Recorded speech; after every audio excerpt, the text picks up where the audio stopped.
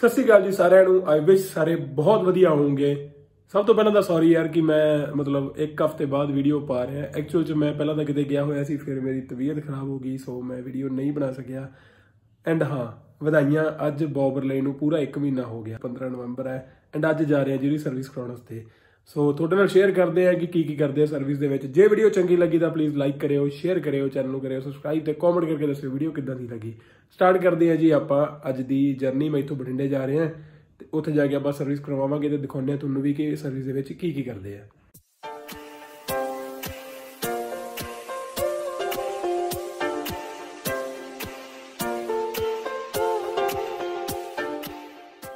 Service centre ਤੇ ਪਹੁੰਚ ਗਏ ਜੀ, ਆਪਾਂ ਬਾਈਕ ਆਪਣਾ ਲੱਗ ਚੁੱਕਿਆ ਤੇ ਬਾਈ ਹੁਣੀ ਕਰ ਰਹੇ ਆ।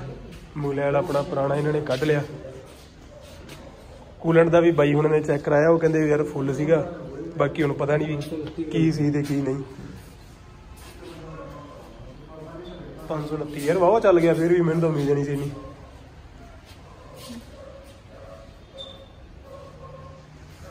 ਸੌਰੀ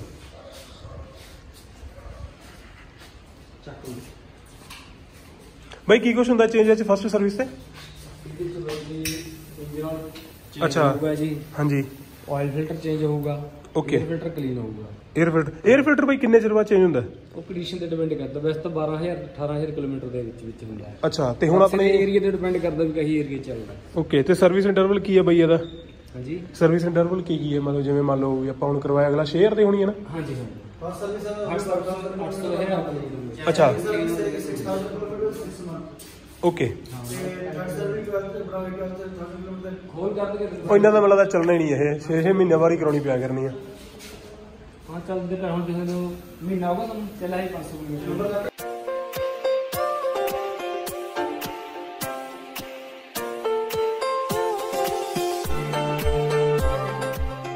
ਇਹ ਕਦੇ ਸਨੜ ਖੋਲ ਰਿਹਾ ਬਈ? ਇਹ ਰੇਟਰ ਆਉਂਦੇ ਅੱਛਾ ਇਹ ਸਾਰਾ ਬਾਕਸ ਲੈ ਲਤੂ ਹੈ? ਹਾਂ। ਇਹਦੀ ਬੈਟਰੀ ਕਿੱਥੇ ਦੀ ਬਈ ਪਹਿਲੀ ਪਰਲੇ ਪਾਸੇ। ਇਹ ਐਲ ਕੀ ਵਾਲੇ ਨਟ ਖੋਲ ਕੇ ਇਹਦੇ ਬਾਈ ਆਪਣਾ ਕਵਰ ਲਾਉਣਗੇ ਥੱਲੇ।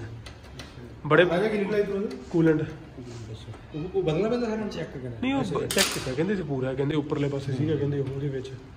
ਮਗਰ ਜਦੋਂ ਅਸੀਂ ਪਾਇਆ ਬਾਈ ਬਣਿਆ ਹੋਇਆ ਨਾ ਲੈ ਉਹ ਵਿਚਾਲੇ ਰਹਿਣਾ ਚਾਹੀਦਾ ਦੋਨੋਂ ਦੇ। ਸਵਾਹ ਨਿਕਲਿਆ ਜੀ ਇਹਦਾ 에ਅਰ ਫਿਲਟਰ ਤੇ ਉੱਪਰ ਕੀ ਲੱਗਿਆ ਬਾਈ ਇਹਦੇ? 에ਅਰ ਫਿਲਟਰ ਦੇ ਉੱਪਰਲੇ ਪਾਸੇ। ਇਹ ਆਰ ਆਰ ਜੰਟ ਤੇ ਉਹ ਗਰਮ ਹੋਣ ਵਾਲਾ ਲੱਗਾ ਪਤਾ ਕੀ ਚੱਕਰ? ਗਰਮ ਤਾਂ ਇਹ ਕਹਿੰਦਾ ਰੇਡੀਏਟਰ ਵਾਲੀ ਚੀਜ਼ ਹੈ ਇਹਨੇ ਗਰਮ ਹੋਣੇ ਵੀ ਇੱਕ ਮੋਟਰਸਾਈਕਲ ਨਹੀਂ ਗਰਮ ਹੁੰਦਾ। ਨਾ ਨਾ ਯਾਰ ਇੱਥੇ ਤਾਂ ਹੱਥ ਨਹੀਂ ਲੱਗਦਾ ਕਿਤੇ ਸੇਕ। ਵੱਜਦਾ ਜਦੋਂ। ਹਾਂ ਇਹ 10 ਕਿਲੋਮੀਟਰ ਬਾਅਦ ਇਹਨਾਂ ਤੋਂ ਪੂਰਾ ਗਰਮ ਹੋ ਜਾਂਦਾ। ਪਰ ਇਹਦਾ ਨੁਕਸਾਨ ਕੋਈ ਨਹੀਂ ਹੋਊਗਾ ਇਹਨੂੰ। ਇਹ ਜਦੋਂ ਗਰਮ ਹੋ ਗਿਆ ਤਾਂ ਇਹਨੇ ਤੇ ਸ਼ੋ ਕਰਨਾ ਹੈ। ਮੋਟਰਸਾਈਕਲ ਨਹੀਂ ਗਰਮ ਹੁੰਦਾ ਇਹਦੀ ਜਿਹੜੀ ਆਹ ਸਰਕੂਲੇਸ਼ਨ ਬਣਾਈ ਹੈ ਨਾ ਇਹਦੀ ਕੂਲੈਂਟ ਦੀ ਕੂਲੈਂਟ ਗਰਮ ਹੋ ਜਾਂਦਾ ਹੈ। ਕੂਲੈਂਟ 'ਚ ਉਬਲਦਾ ਹੈ। ਉਹਦੀ ਜਿਹੜੀ ਹੀਟ ਆਪਾਂ ਉਹ ਬਾਹਰ ਆਉਂਦੀ ਹੈ ਇੱਕ ਮਿਲਾ ਪੱਖਾ ਜਿਹਾ ਵੀ ਚੱਲਦਾ ਇਹਦਾ ਹੀ ਹੈ ਨਾ? ਨਹੀਂ ਚੱਲ ਪਿਆ ਸੀ। ਚੱਲਦਾ ਪੱਖਾ ਤਾਂ ਚੱਲਦਾ। ਪੱਖਾ ਤਾਂ ਮੇਨ ਹੈ ਜੀ ਪੱਖਾ ਨੇ ਚੱਲੂਗਾ ਤਾਂ ਉੱਪਰ ਆਊਗਾ ਸਿਗਨਲ ਨਾਲ। ਅੱਛਾ। ਉਹ ਘਿਆਣੀ ਤੋਂ ਉੱਥੇ ਤੱਕ ਆਉਂਦਾ ਚੱਲੇ ਨਹੀਂ ਉਹ ਹੈ ਨਾ ਚੱਲੇ 2000 ਕਿਲੋਮੀਟਰ ਹੋਊਗਾ। 4 ਕਿਲੋਮੀਟਰ। ਸਟਾਰਟ ਨਹੀਂ। ਹੋਣਾ ਸੋ ਇੱਥੋਂ ਨਿਕਲਿਆ ਜੀ ਆਪਣਾ 에ਅਰ ਫਿਲਟਰ ਕਲੀਨਿੰਗ ਹੋ ਰਹੀ ਹੈ ਸਾਫ਼ ਹੀ ਪਿਆ ਨਾ ਵੈਸੇ? ਹਾਂਜੀ ਹਾਂ ਤਾਂ ਬਹੁਤ ਸਾਫ਼ ਹੈ। ਇਹ ਬਲੈਕ ਹੋ ਜੂਗਾ ਜਦੋਂ ਬਦਲਣ ਵਾਲਾ ਹੋਊਗਾ ਸਾਰਾ। ਅੱਛਾ। ਹੋ ਜੂਗਾ ਅੰਦਰਲੇ ਪਾਸੇ। 에ਅਰ ਫਿਲਟਰ ਵਧੀਆ ਲੱਗਦਾ ਹੈਵੀ ਲੱਗਦਾ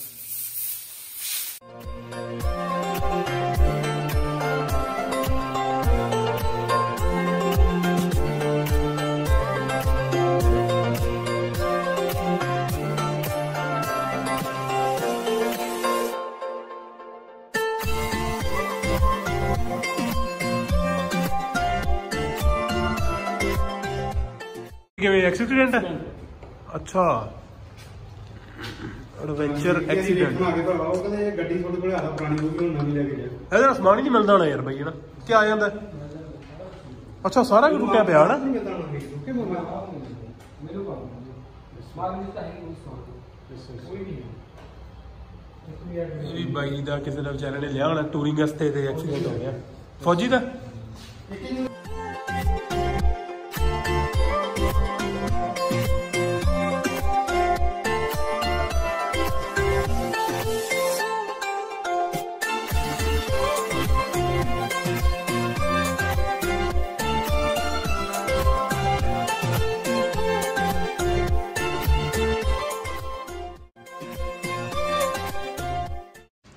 ਮੁਗਲੈਲ ਫਿਲਟਰ ਤੇ ਮੁਗਲੈਲ ਵਗੈਰਾ ਇਹ ਸਾਰਾ ਸਾਰੇ ਮੋਟਰਸਾਈਕਲ ਸੇਮ ਹੀ ਹੋਊਗਾ ਲਗਭਗ ਨਾ? ਸੇਮ ਹੀ। ਜੱਦੀ ਜਾਵਾ ਦਾ ਸੇਮ ਹੀ ਪੈਂਦਾ। ਇੰਜਨ ਤਾਂ ਸੇਮ ਹੀ ਮਤਲਬ ਥੋੜਾ ਇੰਜਨ same ਇਹ ਹਰ ਤੇ ਚੇਂਜ ਹੋਊਗਾ ਆਇਲ ਫਿਲਟਰ ਅੱਛਾ।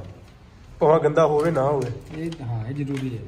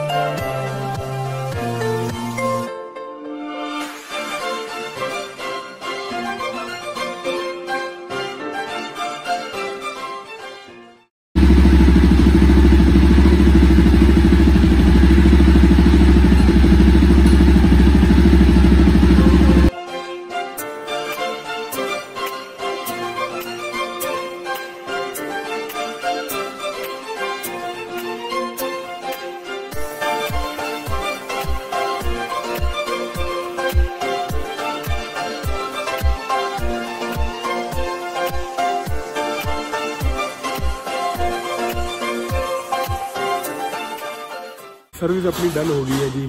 ਬਾਈਕ ਆਪਣਾ ਥੱਲੇ ਉਤਰ ਗਿਆ ਕੰਪਲੀਟ ਹੋ ਗਈ ਹੈ। ਮੁਗਲੈਲ ਚੇਂਜ ਹੋਇਆ ਹੈ ਆਇਲ ਫਿਲਟਰ ਚੇਂਜ ਹੋਇਆ ਹੈ ਤੇ ਕੂਲੈਂਟ ਵਗੈਰਾ ਇਹਨਾਂ ਨੇ ਚੈੱਕ ਕਰ ਲਿਆ ਕਿ ਕਿਵੇਂ ਹੈ, ਕਿਵੇਂ ਕੰਡੀਸ਼ਨ ਕਿਵੇਂ ਹੈ ਉਹਦੀ।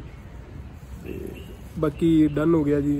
ਆਪਣੇ ਲੱਗਿਆ ਖਰਚਾ ਟੋਟਲ ਲਗਭਗ 16 1650 ਰੁਪਏ ਖਰਚਾ ਆਇਆ ਜਿਹੜੀ ਪਹਿਲੀ ਫ੍ਰੀ ਸਰਵਿਸ ਹੈ। ਸੋ ਜੇ ਵੀਡੀਓ ਚੰਗੀ ਲੱਗੀ ਤਾਂ ਲਾਈਕ ਕਰਿਓ ਸ਼ੇਅਰ ਕਰਿਓ ਕਮੈਂਟ ਕਰਕੇ ਦੱਸਿਓ ਵੀਡੀਓ ਕਿੱਦਾਂ ਲੱਗੀ। Thank you so much